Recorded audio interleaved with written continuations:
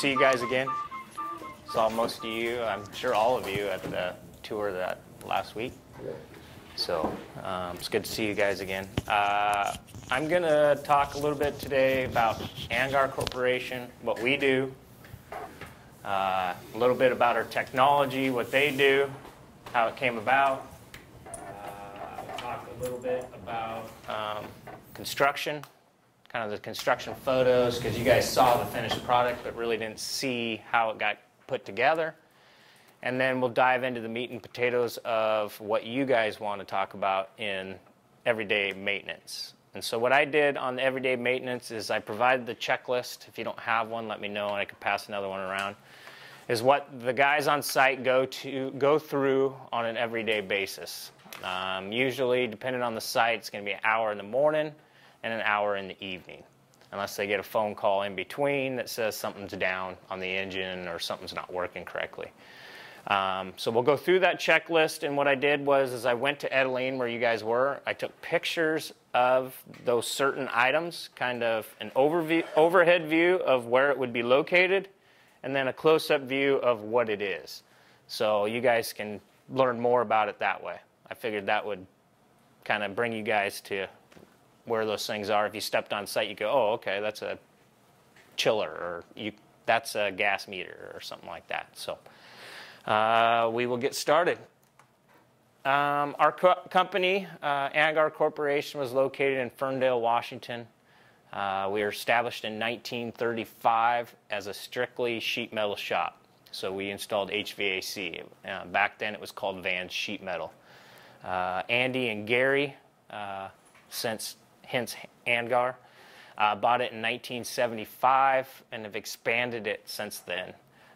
we specialize in all facets, facets of construction and project management. We've got over 100 skilled employees uh, throughout Andgar in different, in basically what, right now we're probably up to 120 plus.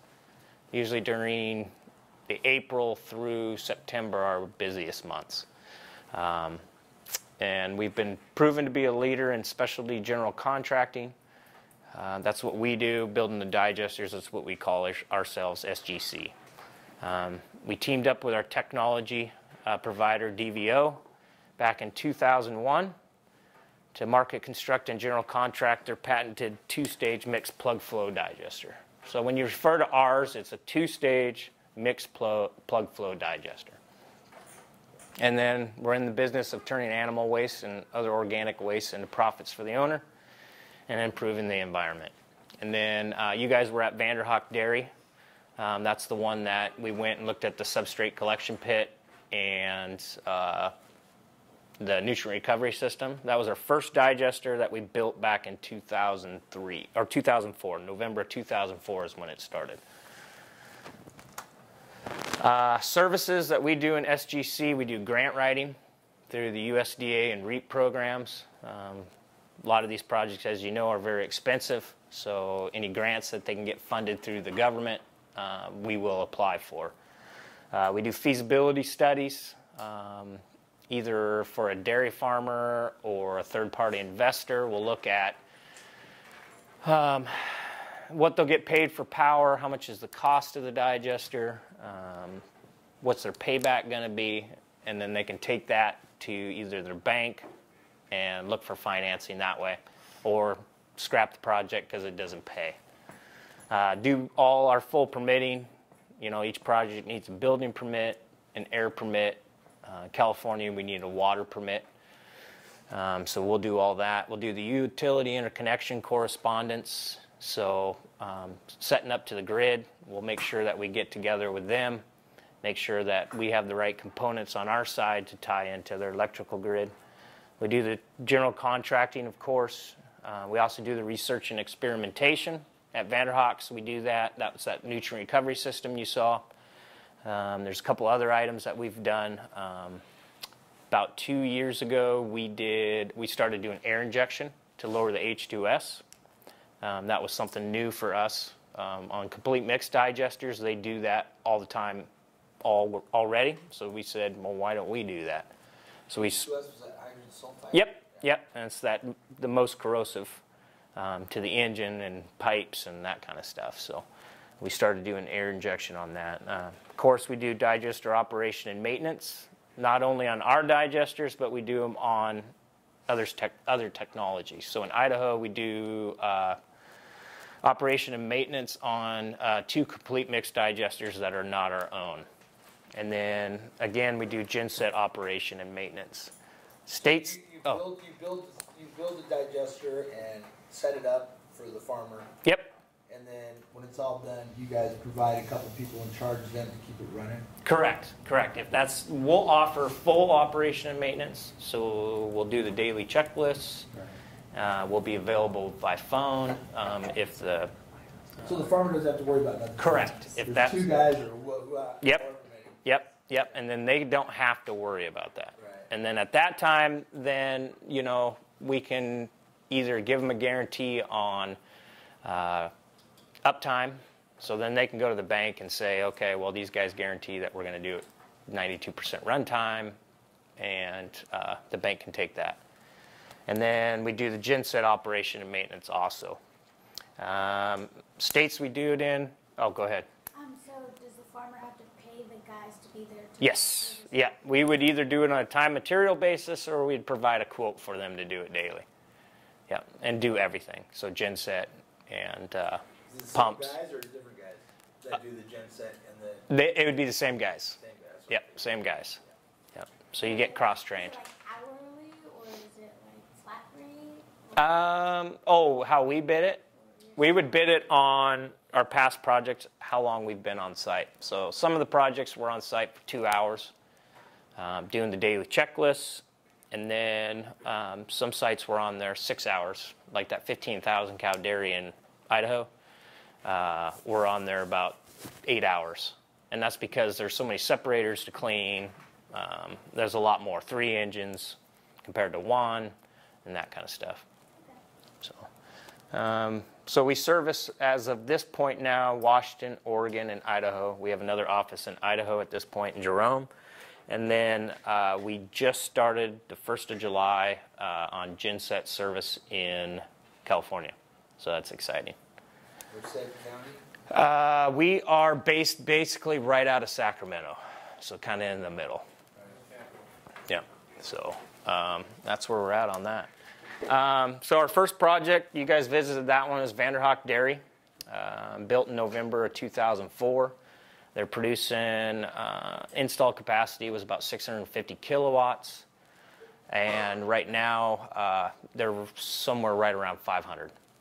And they take substrates and uh, manure.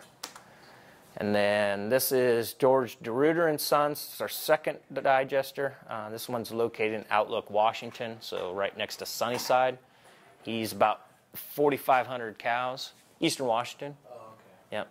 So uh, he is sized for about 4,500 milking cows. He's a flush dairy, so we got to do some pre-treatment before it goes into the digester. So on scrape dairies, you know, you're about 8% total solids. So it's basically into the collection pit, straight to the digester. On a flush dairy, you're probably around one and a half to two percent total solids. So what we do is, you guys remember the separator you saw at Vander Haaks um, that the fiber came out on? It was conveyor and then it fell through. Well, maybe not at Vander Haaks, uh, Edaleen. You had the roller press and then the fiber fell through. Well, it's basically a slope screen separator just like that. You take the rollers off because you want that manure to be as sloppy as possible. So all that manure will flow through a slope screen. All those solids will fall into a collection pit. Um, and then the liquid that's left over, instead of sending it to the lagoon because it's post digest or pre digester, instead of sending it to the lagoon, you'll send it to another collection pit. And then we'll take a portion of that liquid and mix it with those solids, and we can get it to about six to eight percent total solids doing it that way. What's the add-on like that cost? Um, depending on the size of the project, you're probably looking at another 500,000. Five hundred thousand? Yeah. Yeah. Because you need a slope screen, you know, which probably costs you about 100,000. You're going to need a collection pit for the uh, liquid to go into so it can settle out. And then you're going to need pumps to pump it to um, the pre-digester collection pit where those solids fall into, and then you need a pump from there to pump it back into the digester. So So why do you go with a system like that instead of like uh, centrifuge? it's proven. Centrifuge would take quite a while, wouldn't it? Uh, centrifuge, you would need a lot of them Yeah. to handle the capacity for that. Yeah. I think an average centrifuge is what 50 to 75 gallons a minute, Right. 100 maybe at the most. So if you're doing 150,000 gallons, you know, a day, you need quite a few of them, and the cost would come into place on that. If you were to just put it in a settling pond, how long would that take? A long time. Yeah. Yeah. Yeah, what we're trying to do on that, that second collection pit um, is uh, some of those solids will settle out and settle down, so we're pulling at the bottom of those, bottom of the liquid and not the top. So we're getting the thicker material on the bottom also. So um, our third digester uh, completed in 2008 in uh, Hansen, Idaho, which is about an hour east of Twin Falls. And then we have one in Gooding, Idaho. Started up in December of 08 for Big Sky Dairy. Qualco, which you guys said that you were going to visit um, in a little while. Uh, we did that one. That one's in Monroe. Again, completed in 08. And then Farm Power Rexville in Mount Vernon, Washington. Um, that's our sixth digester that started up in 09. That is a community digester. So basically, two neigh- neighboring farms pumped to one digester. Two 500 cow dairies, I think they were. And then Farm Power Lynden. That one um, comes from one dairy farm, um, Dalma Dairy. And that was, uh, this is the project that uh, we take portion of the waste heat that we don't use and pipe it over to a green, neighboring greenhouse. Um, and then they use that heat to supplement their propane costs.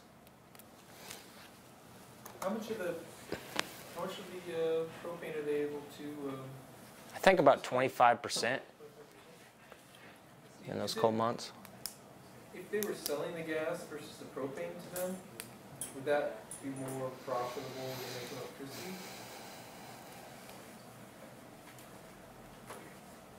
You got to weigh, you would have to weigh that, you know, it's going to cost more to scrub it, you know, in your scrubbing technology.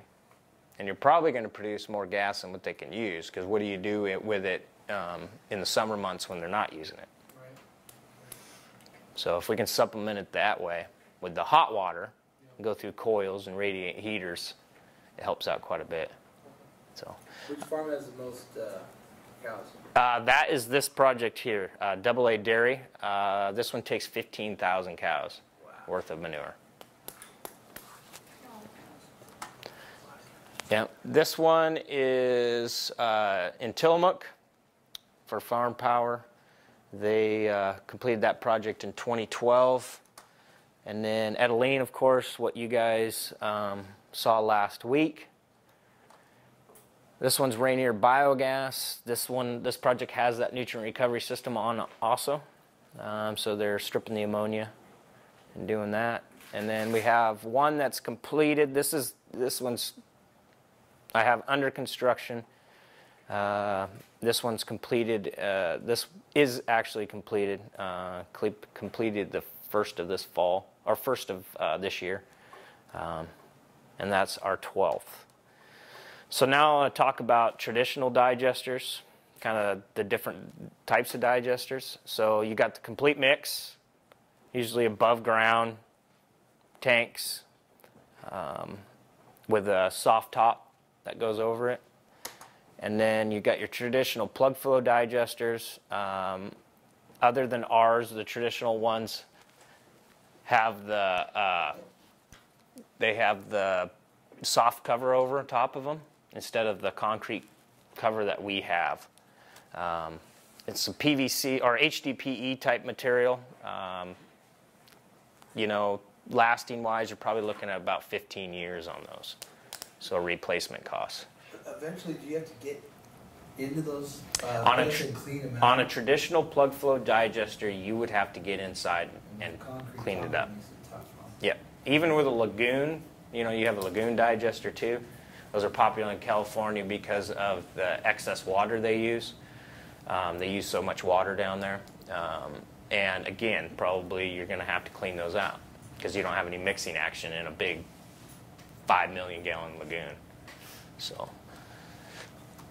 um, traditional digesters um, in the mixed, you know, your advantage is you get a waste stream between 3% and 10% total solids. And your solids and liquids, liquids are always in suspension.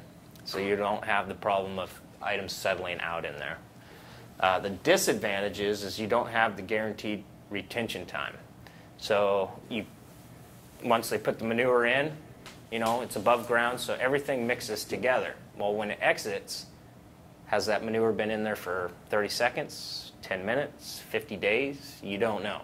So a lot of those uh, after they after the complete mix, they'll either compost or put a bedding master in to get the excess pathogens that they didn't destroy in the digester. They destroy in either composting or in one of those bedding master units.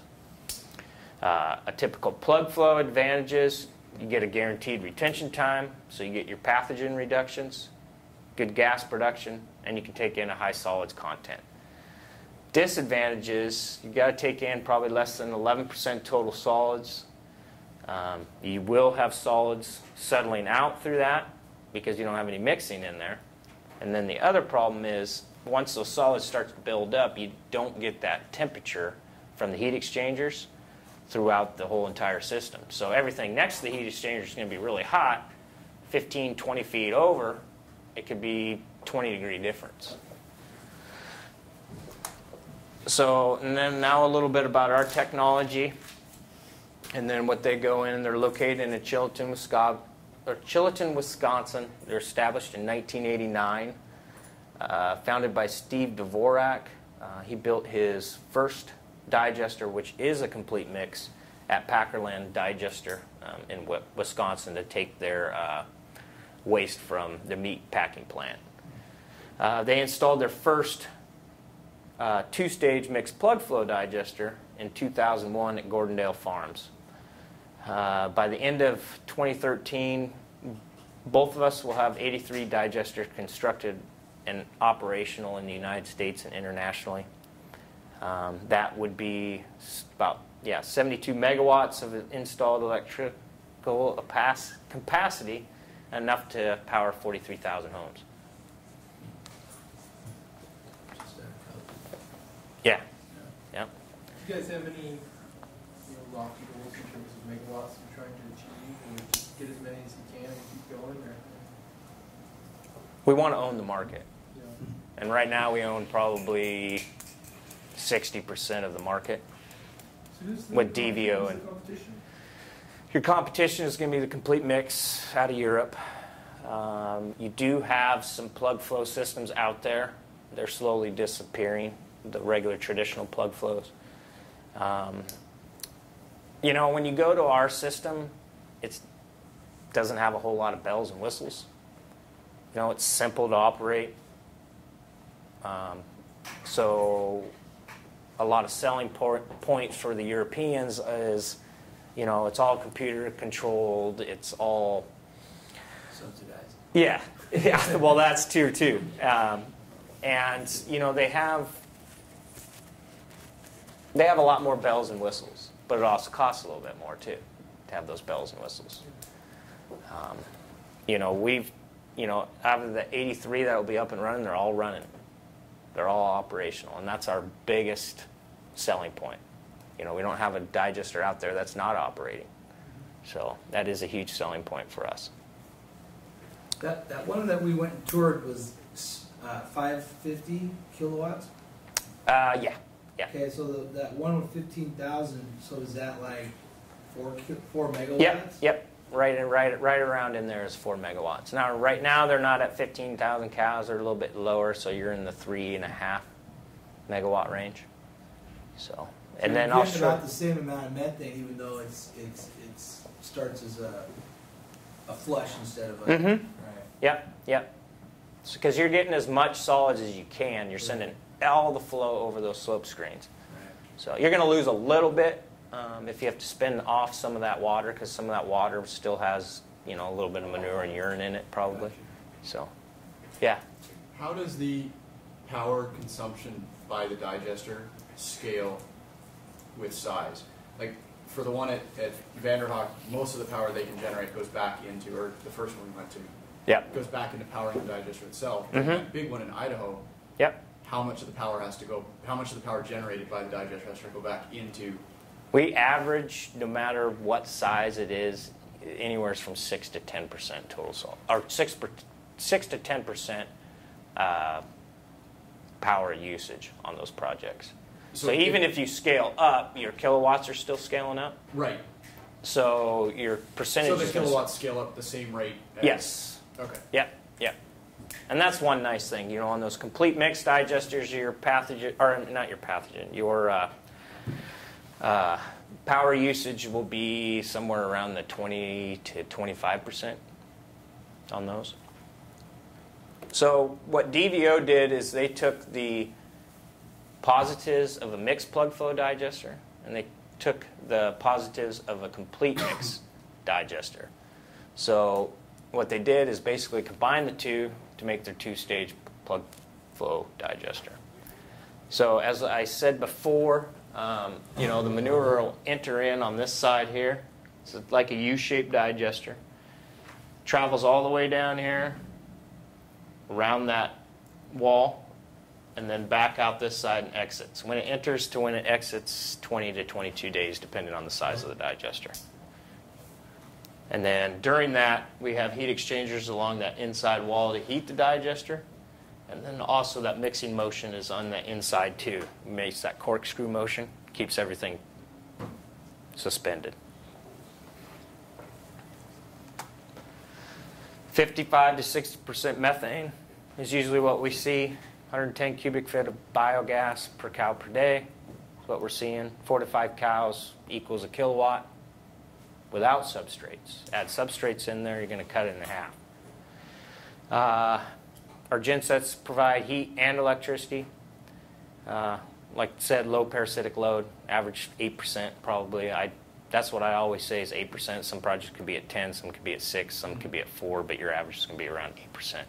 Yeah. What are substrates? Substrates would be the uh, stuff that we take in at like Vander Haak's, inedible eggs, milk that they dump because the bacteria or uh, they got a uh, chemical or something in it, you know, that they couldn't send it to the plant. So, So that, that engine at Vander Haak is running ninety-two percent of the day. yeah, m- greater than that. They're probably 98% uptime, I would say, somewhere right in there. Yeah. Uh, yeah, so runtime average is probably around 92% on projects that we run. And then small amounts of H2S because of your air injection. Uh, so anywhere as they range from 200 to 1500 parts per million. And then depending on what area you're in, Washington, Oregon, California, uh, if you're above a certain amount, then you'll have to add a technology in to remove that H2S or lower it down to what would be acceptable. Is there differences in what the cow, what the cows eat that can affect the H2S? In my opinion, yes. Some of those, like, um, some of the digesters have higher H2S than others. Yeah. Yep. And, um, and, um, maybe it's just the substrates too. hmm But, uh, what do you think's the, you say, who is, who is more on the high side on the uh, digesters that you're doing? Um, I think Idaho is probably a little higher. I think water has something to do with it too. You know, some water has copper in it, you know, that's not treated, you know, and, you know, some of those H2S scrubbers are, are they, I'm sorry, your water has iron in it, some iron, whilst a lot of those have an iron sponge to take out H2S. Right. So does that water help with that? It could. But I definitely believe that what they feed them does change because it differs from dairy to dairy. Yeah, So why is that? why is that? Yeah. I would have to come down to those two items water and feed. Because the Andgar guys, they're saying they're around like only 100 ppm. At Vander Haaks, yep, yep. Oh, Vander Haaks too. Yeah. Oh, oh, Vander Haaks is vi- virtually zero. Huh. You know, and that's that's yeah. Vander Haaks has always been the lowest of everybody. Even Is it because he takes in thirty percent substrates? Oh, yeah, you know? substrates? Yeah, yeah. Because some of those substrates could be higher and or What lower. about- Or, What about Edaleen? They don't take in substrates, but they're really darn close. Are there, is their hydrogen sulfide higher than Vander Haak? um, I couldn't tell you that because I don't know on that. I'm, I'm assuming they're probably a little higher. They, we do have to fit in those air permitting regulations. Yeah. So um, um, they don't have that technology. So I'm assuming that they're under that because we test it every day, part of that uh, air permit. So Before I forget, what's the biggest generator you have? uh, the biggest generator we got are the ones in Idaho that are 1.6 megawatts. Um, something happened. Oh, there we go. So, like I said, you know, your comp, your it's going to be basically your dairies are going to be flush, scrape, or vacuum. So I explained the flush, explain the scrape. The vacuum would be that they have these vacuum trucks that either are a truck or uh, pulled by a tractor, and they basically have a squeegee type deal that goes along the lanes, and then a vacuum that sucks it up, puts it in the tank. They go over to a collection pit, dump it, and then we pump it in. Um, we also take substrates, pre-consumer food waste, biofuels. Um, our digester vessel is plug flow digester, first in, first out. We got the biogas recirculation system, and then we're mesophilic, so we're right around 100, 101 degrees. So construction of the digester. So groundbreaking ceremony that we had at Farm Power. Um, those guys really like to do the groundbreaking ceremonies and invite people, especially dairy farmers and government officials that you know either granted them uh, the money. You know, it's kind of a nice nice way to kick off a project. Um, this was in Idaho. They got a lot of rock. Um, so this is the guy putting dynamite in the ground, explosives, which was pretty cool on one of our sites. Um, I wanted them to take a video when he blew it up, but we never got to that point, which would be kind of cool to show. Um, so basically, uh, he's laying the dynamite there, um, and he had to excavate part of that. Ammonium nitrate? Uh, I don't know what he uses, yeah. So basically, excavation of our digester in Tillamook. Um, excavation depth, you know, like at Edaleen, 10 feet of it is out of the ground. Reason being is because of the water table. Um, a lot of the digesters in the Midwest are the only two and a half feet out of the ground because their water table is a lot lower. So when it's two and a half feet, it's kind of nice. You don't have to do the berm, that kind of stuff. So based on the geotechnical report of what kind of dirt it is, uh, is there rock there, um, what's the stability of the ground, um, that's what they're going to do. They're going to dig it to what specifications of what they are, and then our concrete is based on um, what uh, that geotech comes back at. So that will determine, you know, after excavation, that will determine, well, do we have to put rock in? How much do we have to compact it? Uh, and that, that kind of stuff. A lot of rebar that goes in the floor. That's all those guys laying rebar. All those little squares are probably two foot on center. So that's a lot of rebar that goes in there. They're pouring it now. Uh, these guys are pretty fast, depending on the size of the digester. Like that one at Edaleen, they poured the floor in the day in a day. Um, Got the rebar and everything? well, the, no, just pouring the concrete. No, rebar rebar takes a little bit. You got a lot of guys running around, especially when you. Six trucks driving back Yeah. and forth all day long. Yeah, yeah, and a lot of uprights, um, you know, for the walls to come up. Uh, one thing that we do here, um, you see that plastic membrane material? Basically, it's a water seal. So what we'll do is when they're pouring the floor, they'll stick that in there, six inches, and so when the wall's poured, you have a joint that's sealed. It's like Visqueen or something? Um, it is a Green Streak product. Um, flexible vinyl or flexible rubber material is basically what it is. Finished floor, that's the finished floor for that digester in, that 15,000 cow digester in uh, Idaho.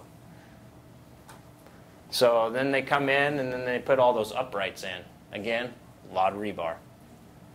So, and depending on the geotest report, tells you, well, do we need to change rebar? Do we need bigger size? Do we need closer together? Um, and that kind of stuff. So basically, what they do is they'll lay, they'll tie all the rebar down on the ground flat on some 2x4 blocking. Then they take the crane, hook it, flip it up, tie it in all together, and then brace it. So that's how they do that on that. So then after they put those in, then they put these uh, concrete form panels in. They're heavy. Um, most, most of them are out of aluminum, but they'll crane them in, and then they'll put them in place, and then pour sections at a time. So each section that they pour, if they don't finish the wall, then that green streak material goes in that wall to make that sealed joint. There's the guys pouring concrete into the walls. Um, as I mentioned, we have put that four inch spray foam insulation on the side of the digester and on the top roof. Um, so that's that four inch spray foam insulation. Basically, once the walls are poured, um, they'll spray that in, spray that on so then we can start backfilling. I thought it was just for texture. Nope, nope, no. It's for uh, keep the heat in. So four inch spray foam insulation to keep that heat in. And then on that top, you get that, that coating, that gray coating you guys saw. That's kind of a UV protectant coating, so it protects it from the sun, birds picking at it, that kind of stuff. Okay, so you know how on the traditional plug flow digester had that rubber lid. Well, what we do is we put these, uh, depending on, again, the geotech report, you're going to have an 8 inch hollow core panel thick or up to 12 inches.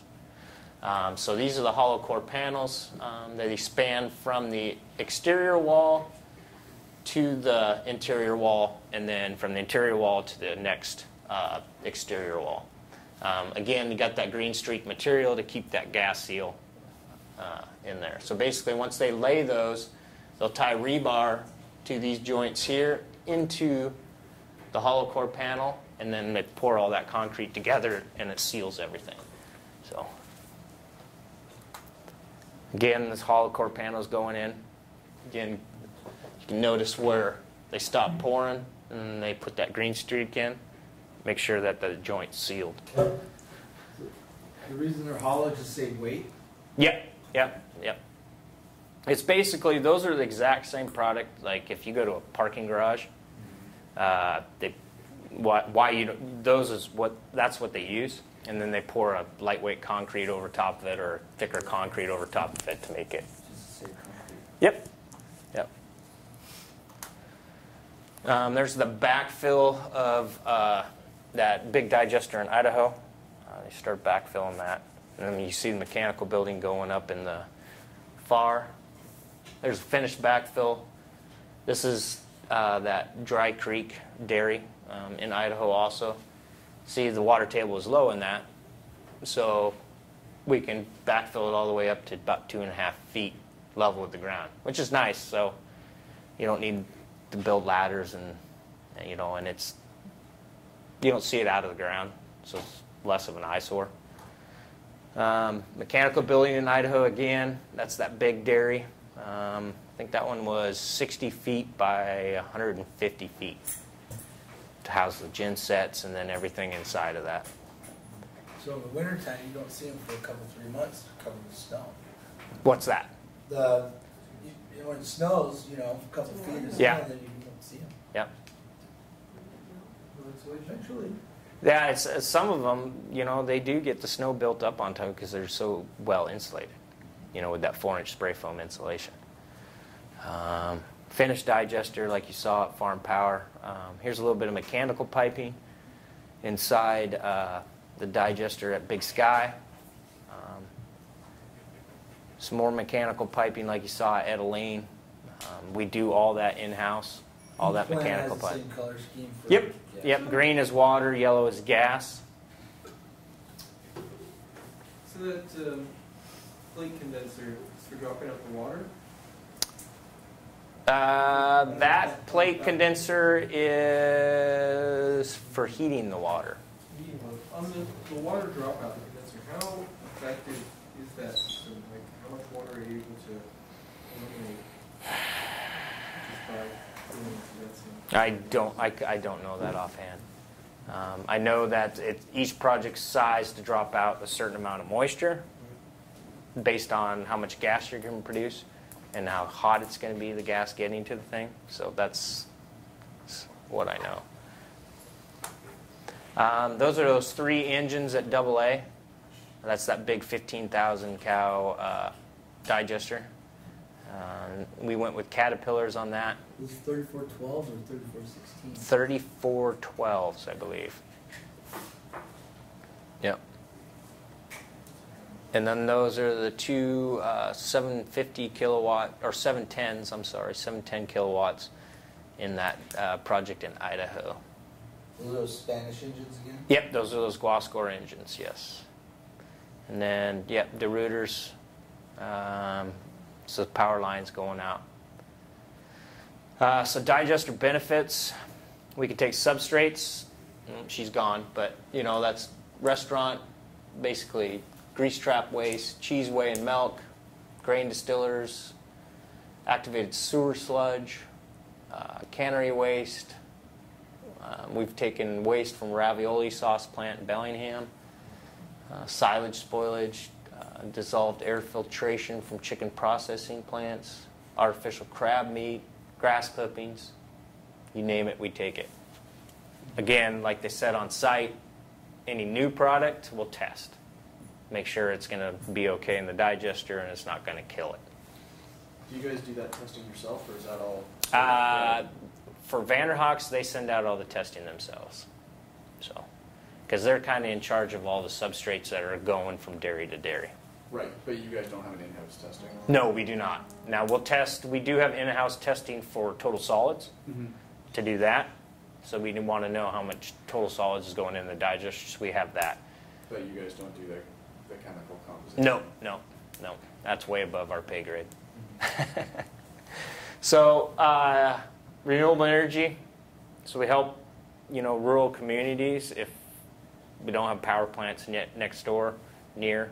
They got to travel a long ways. We can help them by producing renewable energy and putting it back on the grid without having to add, you know, another power plant. They also get carbon credits. As I mentioned, that was another re- another revenue for them. Um, uh, so the amount of methane that you take out, you get a credit for that based on a ton. And then you get that. Go ahead. How many, tons of CO2 credits are generated a day? Um,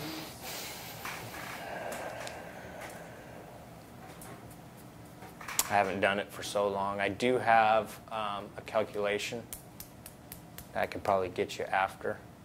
That I, I could pull up one of my spreadsheets, and I think I have it on there. Um, get the separated solids after the digester.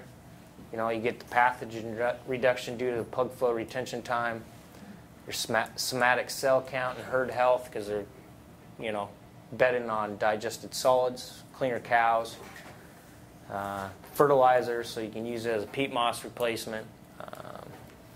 They've done studies in uh, Wisconsin on the particle board using cow manure instead of wood and then pressing it. And because the composition of the manure, it actually gets sticky when it gets heated. And so they don't use any glue or adhesive in there. Um, that the process takes a lot of money. So because of the heat and stuff you got to use, uh, so has that gone to a commercial market? No. Same with plastics. Is that, is that picture of the board? right Yeah, there? that's a picture of board. So it's a, it's a particle board. Um, they've also done um, uh, plywood. So what they've done is the outside eighth inch on both sides is plywood. The inside core is the separated solids. So we'll be seeing that in IKEA shortly. That would be awesome if they want to pay for it. But you know, so I, I can see there being a market like that in Japan or something. Mm-hmm. Yep. What's it cost per board foot? I have no idea. That's shit is scary. Yeah. So again, separated solids off the fi- up, off the pile. Um, the bedding of the animals, they like it. Some more dense material, soft, and then kind of, it's kind of a spongy material. You know, when you squeezed it, kind of went back. So it's a nice animals. No odor to it at all. No, no. There's a little ammonia left in that one, it left in some of the solids, but not much. The manure smell is basically gone. So, um, you know, for the benefits for the farmer, they're going into the lagoon at, you know, instead of when they'd scraped and didn't do any separation, you're going to go into the dig- or into the lagoon at four percent, six percent total solids. Um, by going through the digester uh, process, you know, we'll lower those total solids about 50%, um, then go over separation. So you're going to be about that one and a half to two and a half to three percent total solids. So instead of having to truck it on the onto the fields, they can irrigate it. So they save on trucking costs. So they already have the buried lines, so they can spread it on the fields that way. Uh, pH increases just due to the chemical process with inside the digester. And then they can apply it to the directly to a growing crop because it changes from inorganic to organic, or is it the other way around? Anyways, and then so it, the ground can take it up right away. It doesn't have to have the ground break down the, the manure and then uh, take it up in the plant, which could take up to a year to do that. Um, so that lessens the likelihood of runoffs into creeks. And there's a picture of them spreading the manure right on their crops. So they're having to use water, they're using that. Um, again, like I said, nutrient management of the dairy. Um, they need to know what they're taking in for substrates because they can only take in so much nitrogen, phosphorus, depending on how much land they have. Um, when it goes through the digestion process, uh, some of the nitrogen, phosphorus, and potassium stays with the separated solids as it falls off and then the liquid. So they do get a lower percentage going of nitrogen, phosphorus, and potassium going to the lagoon. And then odor reduction, um, less odor when you're going. You know, a lot of people travel down the road and you see manure guns spraying. Some of them are really putrid. Yeah, why is that? Um? This, well, no, the smell yeah, on a on a non-digest is those volatile fatty acids is what's in there. What produces that smell. And through the digestion process, we can eliminate uh, usually about 97% of those volatile fatty acids, and that's what produces that smell. So we can take care of that. The volatile fatty acids, fatty acids are just make up oils, right? Mm-hmm. So They're kind of well in the in that composition. They're more of the. There's the ones that carry the smell in that. And then so like at uh, when they're using that ammonia sulfate, they what they did is on the right, you see where they didn't use the ammonia sulfate in the manure when they spread it, and on the left you can see how it's darker green. They used that ammonia sulfate in that, so. It's proven to work. All right, now we get into your meat and potatoes of your checklist. So everybody got one? Does anybody? I saw somebody. Yeah, there you go.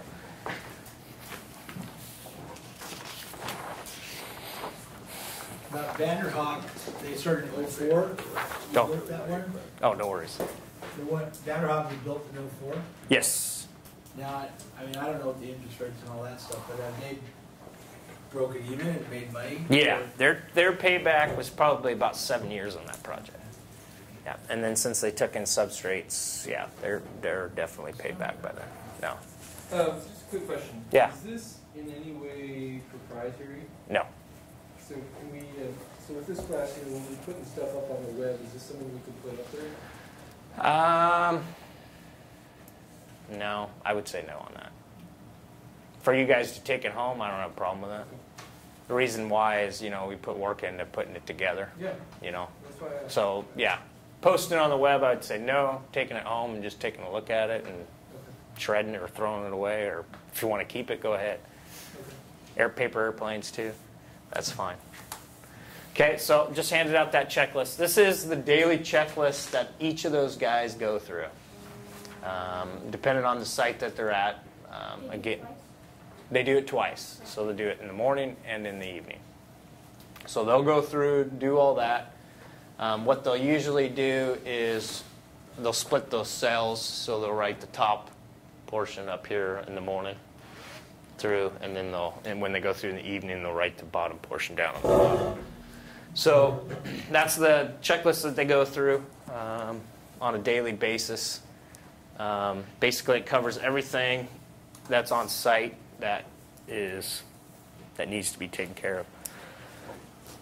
So that first one on there is you got the oil temperature, oil pressure, engine water temperature, uh, and exhaust temperature. Um, those are uh, those are the gauges that you would look at to write those down. Um, and you also check the engine block oil level, make sure that it's in that green area um, right here. And then you'll read those gauges and then write down what you want. Or write what down what they say. Yeah, what you want. Sorry.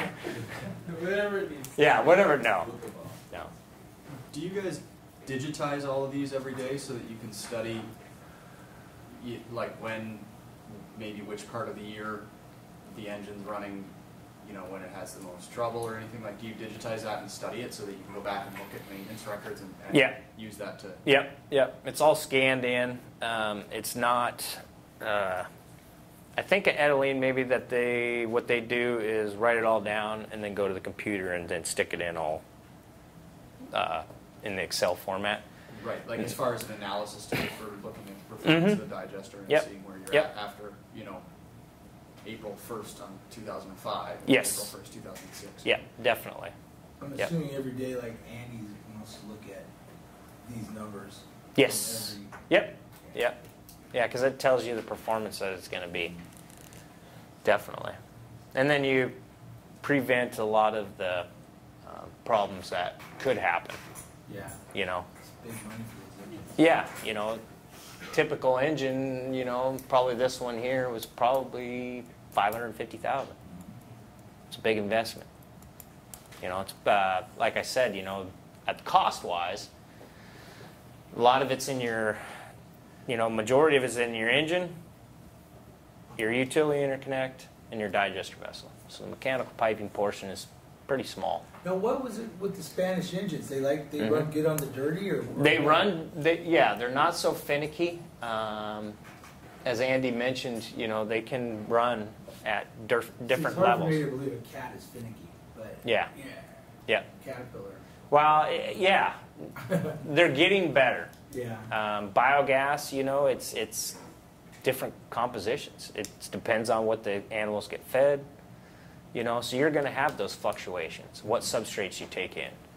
So for uptime reasons, that was why you would go with this engine, less finicky. Um, you would also the you know the parts on these are cheaper than if cheaper than cat. Really? Yeah, yeah, and I we can get them in the it would be U.S. More. Yeah, yeah. So that's where you would find those gauges on that.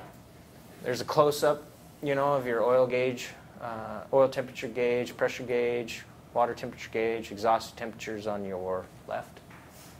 So you write down exactly what uh, they say. Now this is the gauge-wise. Um, I'll get into a picture in a little bit. Um, also, these are um, tied into the telemonitor system. So when you go to that pan- control panel, you can bring it up on that portion. I'm surprised there's that turbo boost, the, the, That is on the telemonitor. uh, Yeah. Engine block, oil level gauge. Uh, got the sight glasses for that. Um, there's the IntelliMonitor control panel, which you guys saw on site. Um, that will tell you your engine hours to date, uh, your total kilowatt hours to date, actual kilowatt, and then what your current settings are. Yeah. How much does just that cost?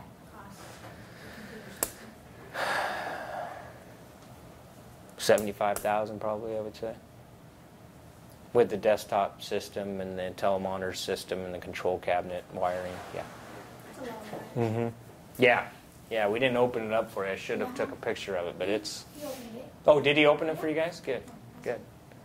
So then again, your oil temperature, oil pressure, engine water pe- temperature, digester pressure. The digester will all get on there. So your run hours, you know, it tells you, okay, from startup, it's 7,921 hours. Number of starts, so 77 starts in that time.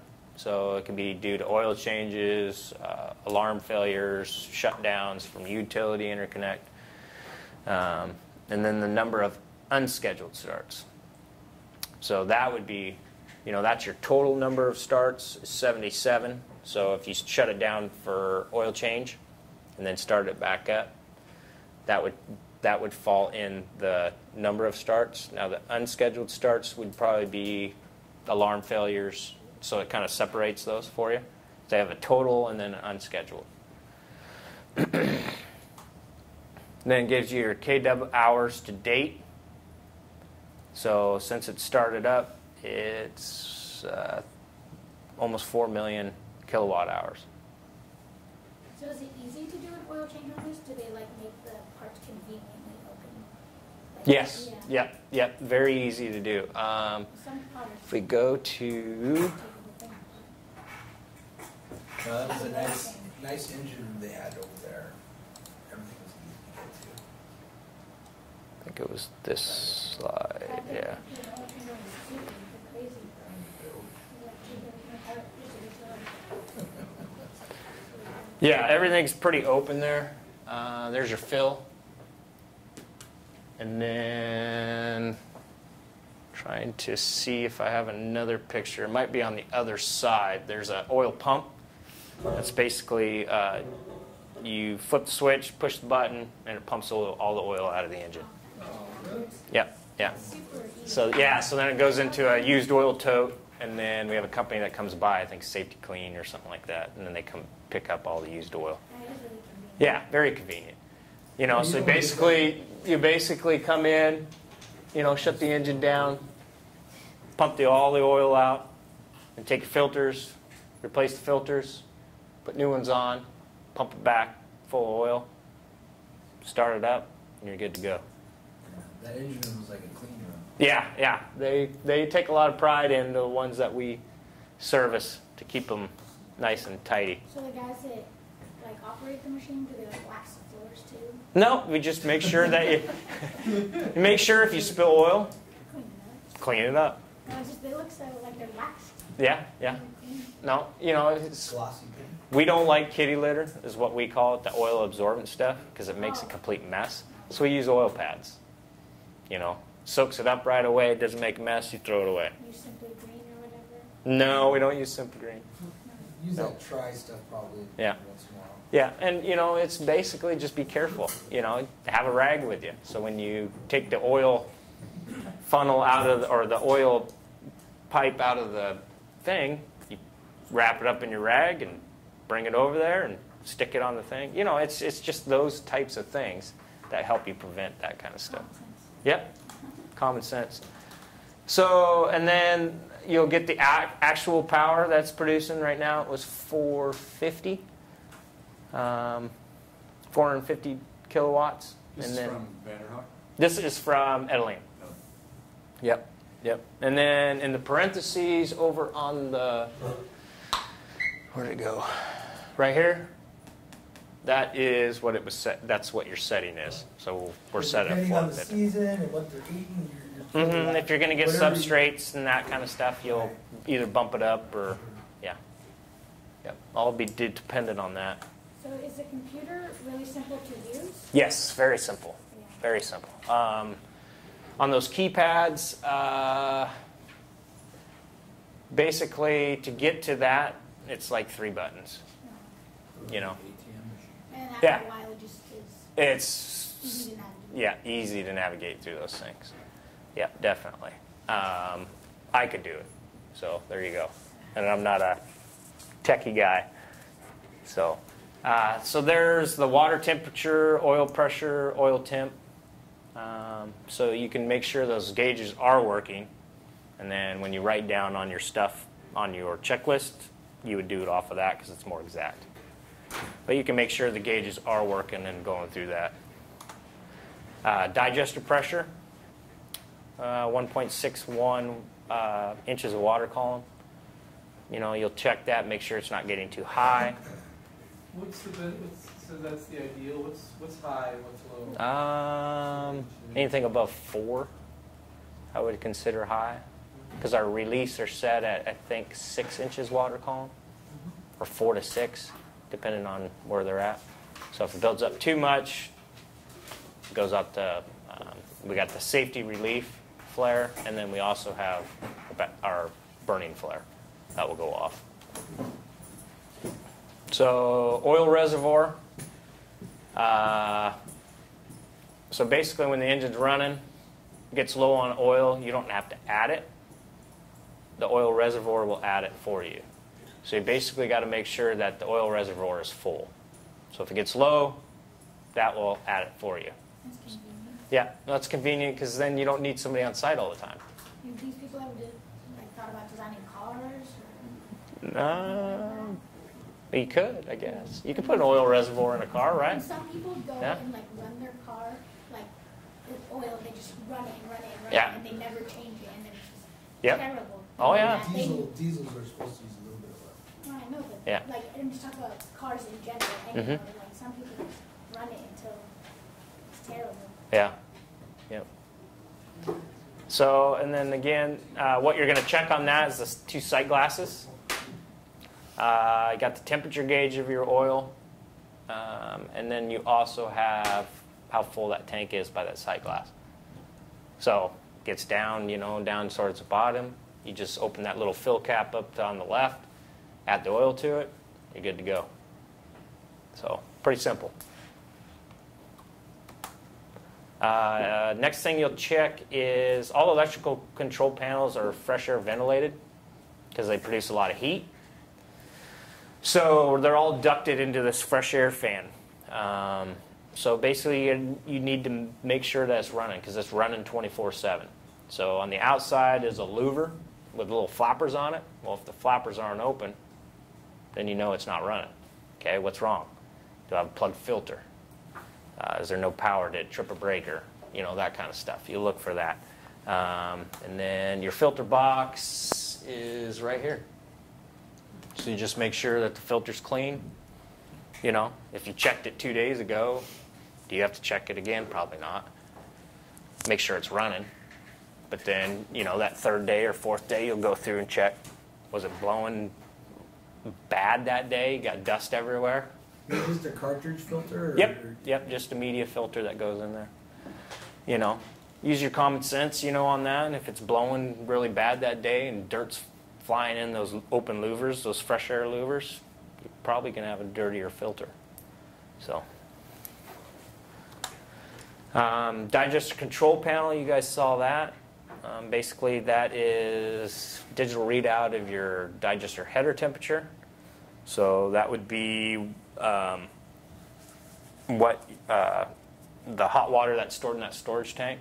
That's the temperature we want it to go to uh, at to the storage tank. What degree we want it set at, and then as we mentioned, you know each digester has different heating zones within the digester itself. Um, so we read uh, the different uh, temperature probes outside the digester and relays it back to that. For this digester, we had five zones. And then on this digester, as we mentioned, we do have a pasteurization pit where we'll heat it up to 130 degrees for a certain amount of hours. And with that, um, uh, they qualify for those Class A biosolids. And then also your air injection um, gets uh, read out on that. So digester control panel, like I said, everything on that list is on there.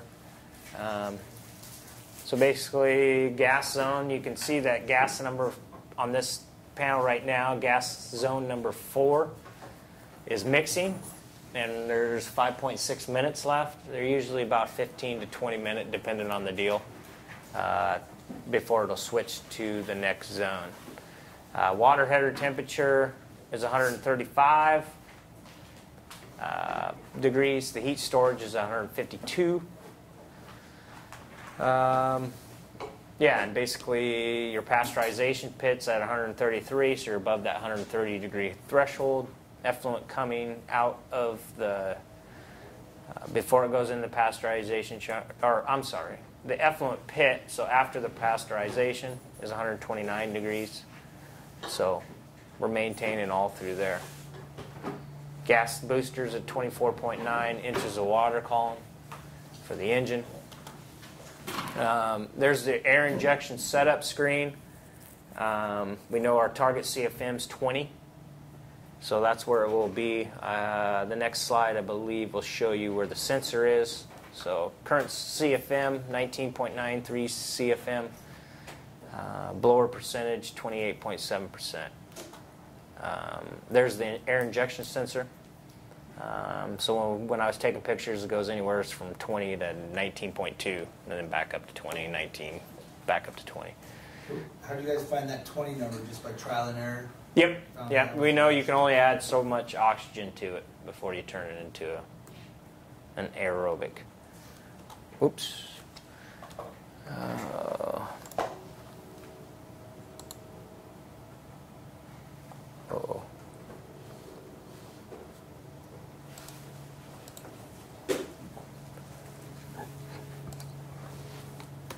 Uh, me- mechanical building exhaust fans, um, very important, especially during the summer that they're working. They're all controlled on a thermostat, probably set to 70 degrees inside the building. Um, so very important that they are working. Um, you won't have to climb on the roof to make sure that they're working. The next slide will show you from the interior of the building that make sure they're spinning. Fresh air louvers, make sure there's nothing in front of the fresh air louvers, nothing in the building that's in front of the fresh air louvers. That way you can get proper circulation through there and back out. There's the picture inside the mechanical building of the exhaust fans. So if you know it's 80 degrees outside, it's going to be 95 inside the mechanical building. Make sure they're running. Proper ventilation. What Um, happens if you don't get good ventilation? your engine will overheat. What, I mean, it seems like it could be more of a problem like in California than necessarily here. Yeah. And that's where you'll add more fresh air, more exhaust fans within that. So the more air circulation you got, the better. Um, Do you know so what rating those engines are running at? Are they running at the light duty, medium duty, or heavy duty? I don't know. I don't know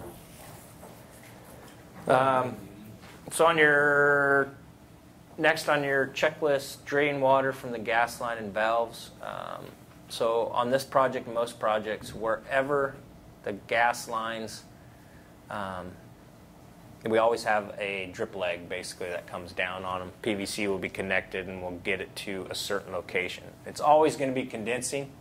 So your number one thing is basically go to look where it's coming out of the pipe. If it's not coming out of the pipe, what's the problem?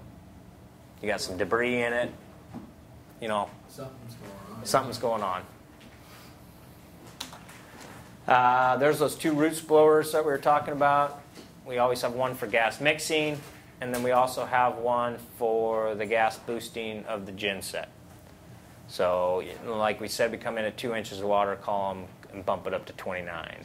So you guys go through a cooler, the gas goes through a cooler before it gets injected, so it's more. Correct. compact and get Right better. to the left of that picture, you can see just a portion of those plate coolers.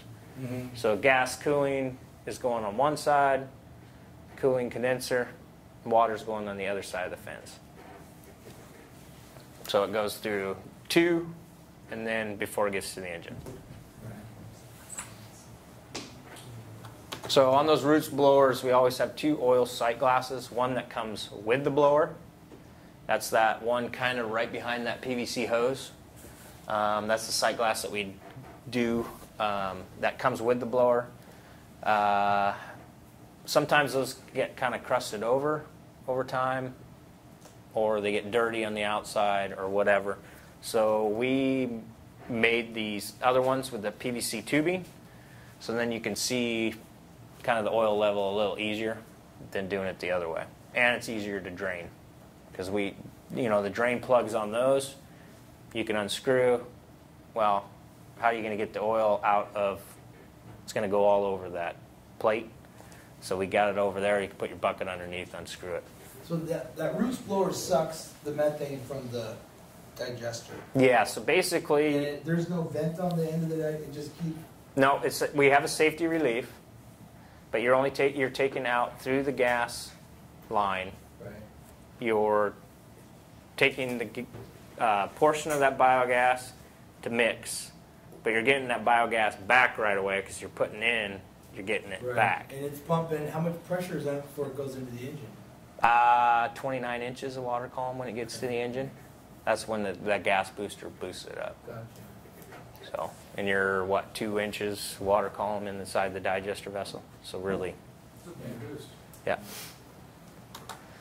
Um, as I said, we do H2S testing. Um, so on the bottom of the gas filter, we put in our little nipple gas valve, um, and that's our testing port location at Edaleen. Each project could be different, could be at a different location depending on it. So we take our H2S levels, you write it down. Um, typical H2S tester, um, got the draw tube on the end, and it'll tell you how many parts per million. Uh, basically, you stick it in there with a tube, pull on that, sucks the gas through, and then it will change the white colored sponge to wherever the H2S level is. And you can get, you know, you have different H2S levels. You can get the little glass from zero to 50 parts per million. You can get them from zero to 1,000 parts per million. So No wonder the red flags go up there. 'cause there's- where if it goes above what your air testing or what your your design is on that, What happens then? Um, you got to call, make sure, tell them that you're out of compliance, and then either inject air dosing or figure out something else. You know, What causes that? The H2S, uh, it's just the composition of the gas. What's one of the, some of the bacteria in there actually generate H2O? Yes, yes. So Like it depending on like the, your bacteria makeup, you know. hmm That is a Craig Freer question. Yeah, definitely. So definitely. if it gets too, let's say a part of it gets warm and bacteria die, do they make the H2S or something? Yeah, the bacteria when they die produce the biogas. Right? They fart it constantly. Yeah, that's pretty much what it is. Right, but I mean, let's say, let's say part of the tank dies, the digester, say it gets out of temperature, Yeah. and the, Well, not necessarily, I mean, No. because the temp, you- you're right in that the temperature range is ideal for certain bugs versus others. I'm not sure if the H2S producing bugs like uh, hotter temperatures. uh, I, I don't know. I don't know I'll look into that. Yeah. Well, I mean, they, they're all kind of a symbiosis, right? Um, the H2, the bugs that produce the H2S um, are necessary as well. They also help in the method methane production. So um, always a certain way. hmm So Genset gas meter, um, those are usually in line just before you get to the engine. Um, that will tell you how many CF, uh, yeah, CFM is coming to the engine, what the degree is coming to the engine, um, and that's a portion that you write down on the deal. What's the date? Um, flare gas meter. You guys saw the flare outside. You know, basically that's where we locate it, right outside or right interior of the building. Same kind of setup. Um, you know, right now it's not producing any, so you don't you know that you know the flare is not on at that time because there's no it's at zero. And that keeps a running total, so you write that down. Um, so that was the digital meters. The flow meter itself is outside. Um, those were for the gas. These flow meters were for the manure. Um, so that is the portion that gets put inside, in line with the digester, or in, in line with the PVC pipe. So when the flow goes through it, it will send the, the um, readouts to the flow meter sensor, and that's where you will take the readings down uh, for your checklist. Now, Mike, um, I see you've got two flow meters. Are you guys able to determine, you know, how much of that stuff coming is manure and how much is substrates? Yes, that's the hence the two flow meters. there's Yep. So do all the sites have uh, two flow meters? Uh, yes. account for that? Yep. If they're taking in substrates, because you got to account for that. Yeah. Yeah, you need to know how many gallons you're putting in because, you know, to have that solid waste exemption, you can only put in so much, so up to 30% of your total volume. So, Okay. yep. And before it goes into the flow meters, it all comes from that one, that one big pit. Uh, that big sump pump that's, trash pump that's way down. the one next to where we were, where the dairy and the feeding, Right. that was for the dairy collection, yes. Okay. And then that other flow meter is from that collection pit that over time though will take substrates at some point. Not they're not taking it now. So that right now it's getting metered in because they pump from their calf facility over to that collection pit and then pump it in. So again, it gives you the totals and then if it's pumping it would say 300 gallons per minute or 200 gallons per minute. But it gives you the totalizer and then you write that down. Uh, wash down pump, uh, you know where that substrate pit was or collection pit uh, next to the digester. Um, make sure it's running. Make sure you don't have any leaks, water leaks. Um, make sure it's powers to it. Uh, Post digester separator, you guys saw that one too. Uh, that's the slope screen with the two rollers. Um, basically, you're gonna, there's the screen on the inside of that. So basically, you got to make sure on this one it has a wash down cycle. So after the manure shuts off, going over top of it, you have a sprayer that goes down and makes sure that it basically washes off all the solids. Because if you see, you can, probably can't see it, but that screen has little slots in it. So the fiber will stay on top of it, the large particles of fiber, and the liquid will flow through those, and that's what goes to the lagoon. The solids will fall out and they'll use for bedding. So you make sure that sling, everything's working on there. Those are those two rollers. Um, the fiber will get um, built up in the corners, so you'll shut down the separator. Um, make sure that you clean all the fiber out of the corners so you don't have a whole lot of buildup. Make sure your rollers are clean, that they don't have clumps of um, fiber on them. Because what that is, it's all weight controlled. So if you have a clump in the left section, it's going to raise that section up a little bit and let more solids through and not get the much moisture out that you want. You'll grease the bearings um, on that, and then you're going to make sure that if that fiber pile underneath that separator is tall, too tall that, oh, okay, I better get it moved over to the side, jump in the loader, move it to the side so you can have, so by at nighttime, or you come back and the fiber's way up. Uh, you'll check the sludge recycle pit and pump and the digester effluent pit. So the sludge recycle pit um, over time will form a crust just because it sits there for a little while. If, if you're not adding in, it could sit there for an hour or so, you know, because what you add in comes out. So if you're not adding anything out, over time, the air gets to, since that's an open area, air gets to that top crust and starts to crust, and that will prevent it to prevent it from wearing over. So you want to make sure that crust is not happening in there and clearing it out. Make sure the sludge recycle pump is working. Um, what the sludge recycle does on this technology is it basically takes um, live bugs, as we can say, that's that have gone through the process, and we inject them back into a portion on the other side to kind of feed them, I guess, basically. Mm-hmm. Yep. I noticed that in some of the pictures, especially with the Spanish engines, you guys try to keep the buildings identical, keep the plumbing identical from one. Yeah.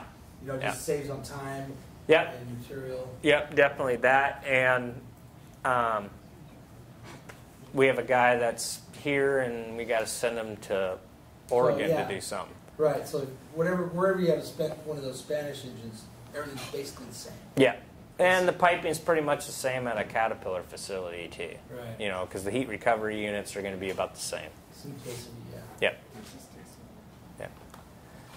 Um, a little close up of the sludge recycle pump. Make sure you don't have any leaks. Uh, make sure it's running. Powers to it. Um, yeah, the bearings. Make sure they're greased.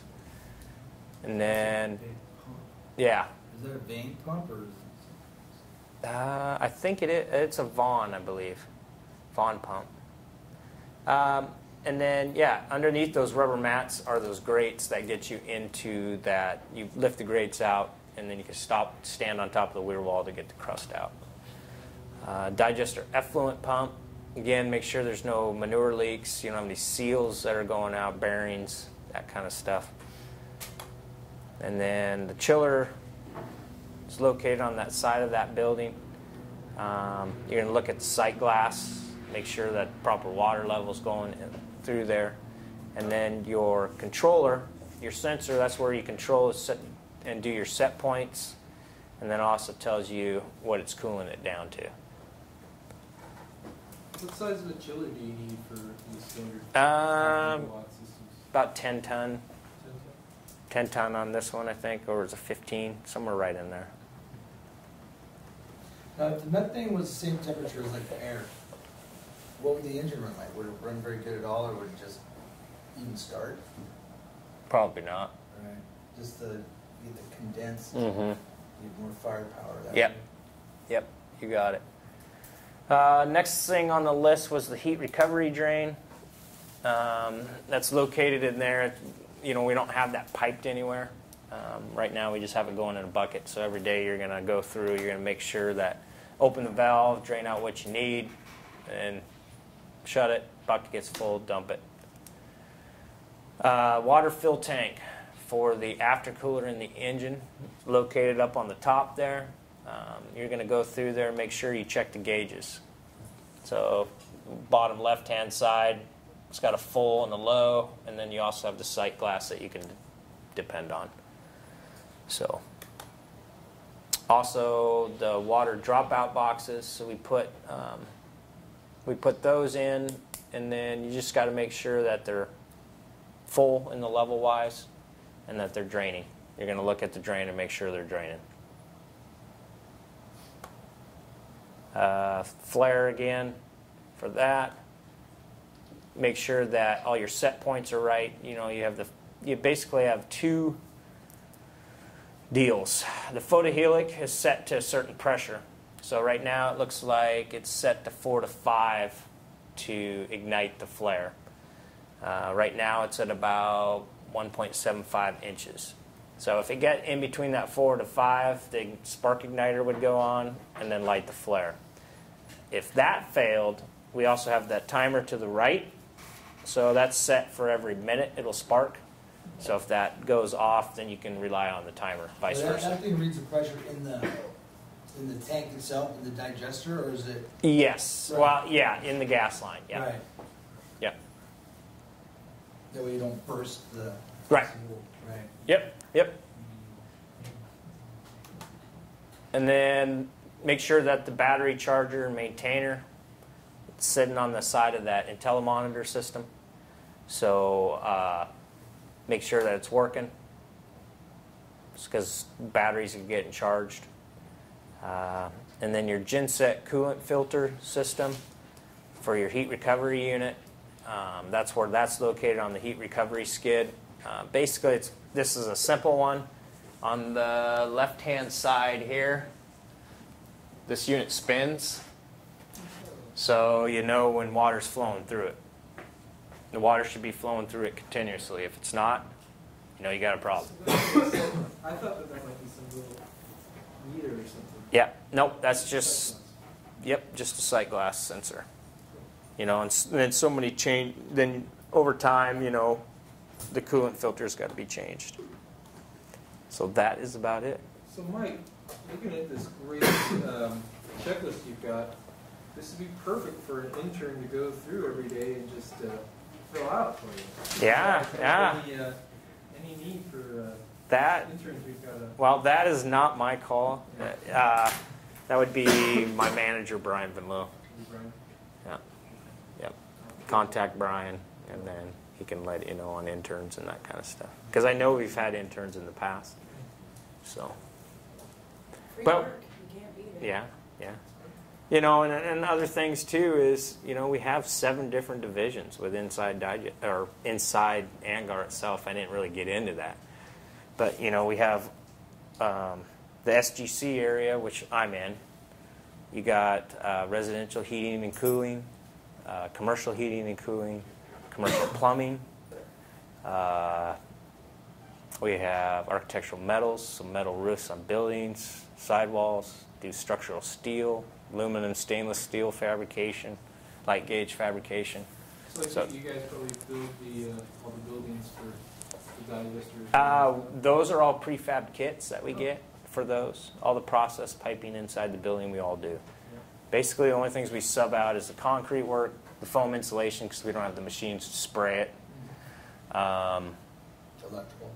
electrical, and then the concrete for the vessel. I don't know if I said that or not, but the con, you know, sidewalks, mechanical buildings, concrete, that kind of stuff we do ourselves.